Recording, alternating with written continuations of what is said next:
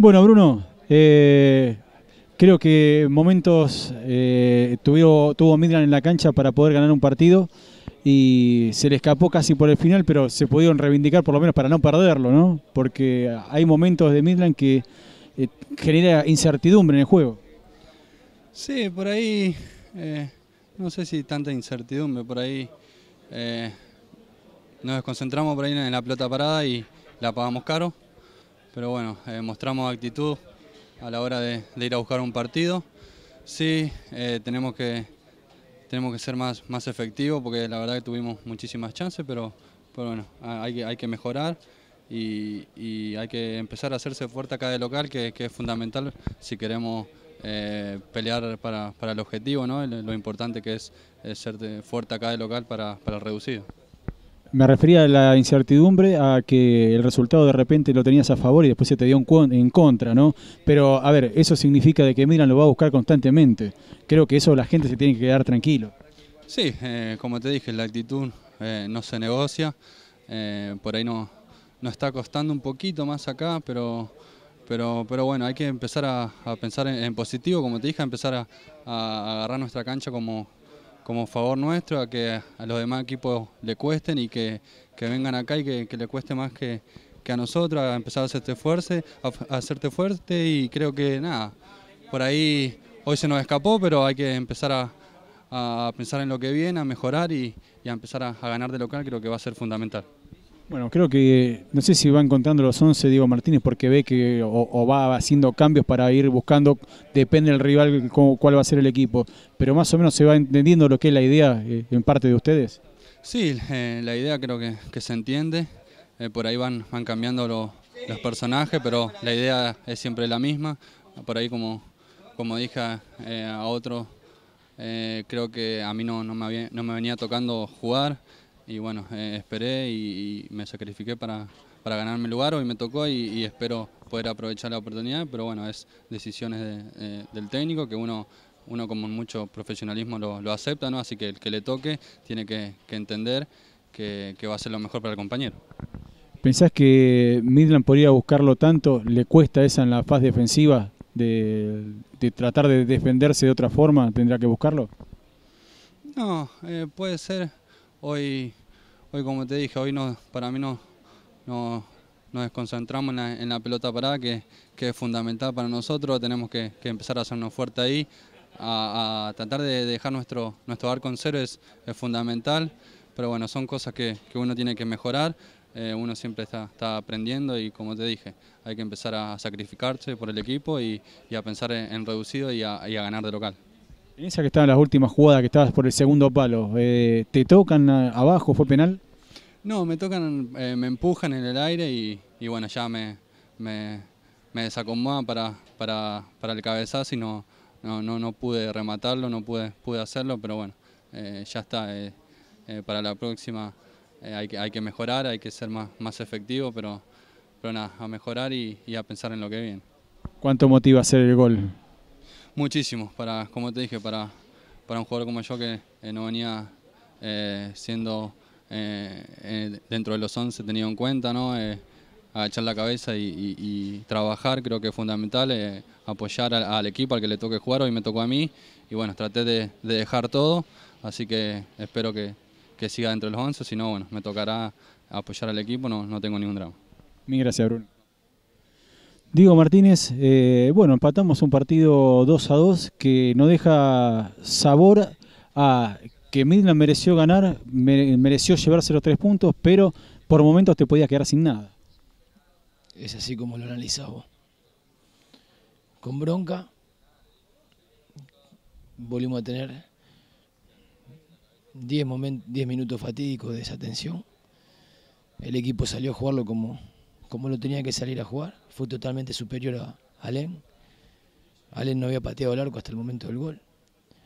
Y, te da mucha bronca, te da mucha bronca. Que, semejante esfuerzo que hicieron los muchachos tengas que sufrir hasta el final como para poder tener este punto que, que no digo que no sea importante, pero más que ganar un punto perdimos dos. Sí, la realidad eh, nos dejó la misma sensación. Eh, lo analizábamos eh, o te llamaba nuestros, eh, nuestro compañero Juan Carlos Cosac en, el, día de ayer o antes de pidiéndote el equipo y preguntándote cómo vas a plantear este, este partido y se dio exactamente como se tenía que jugar la LEM. Se dio eso pensamos que, la figura de, los dos centros delanteros no, nos iban a dar mucho descanso, que este juego previo que intentábamos hacer nos iba a generar espacio para que ellos puedan generar un contexto en los nueve favorable y así fue. Y el equipo generó situación, el equipo no sufrió, el equipo estuvo bien defensivamente, salimos a jugar el segundo tiempo.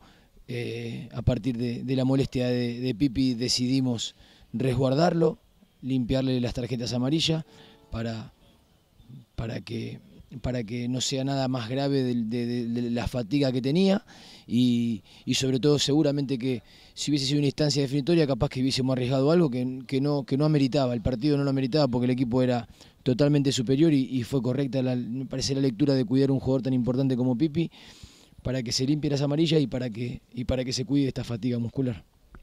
Bueno, eh, creo yo, si le tengo que poner un título, un nombre a lo que Midland no puede ganar acá, es circunstancia, porque hoy demostró de que se puede jugar, de que él entiende cómo se juega en el sintético, pero es la circunstancia del partido. Fue la mayor bronca con la que me voy. Era un partido muy importante para nosotros hoy. Nos habíamos planteado un partido muy importante para, para nosotros como grupo, para, para los jugadores, de, de dar un mensaje. Y el mensaje lo dimos, la verdad que lo dimos, pero te da mucha bronca que, que, que no nos vayamos con los tres puntos porque, porque era lo que debería haber pasado. Eh, De parte de una persona que ha visto desde la tribuna, la verdad que se queda contento del estilo de juego que, que se pudo implementar, o del juego, mejor dicho, que trataste de implementar eh, vos y tus jugadores.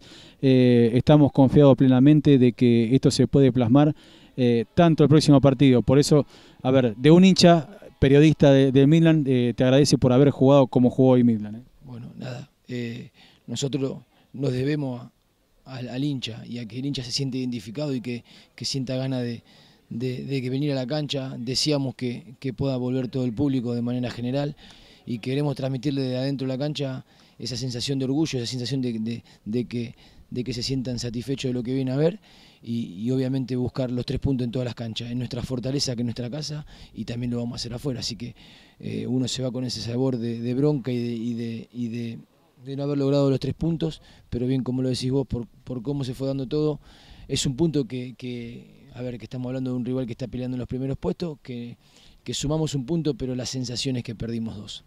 Y gracias por todo, Diego. Gracias. Hasta luego. Bueno, Dalmiro, eh, si yo te tengo que preguntar, ¿cómo analizamos a Midland?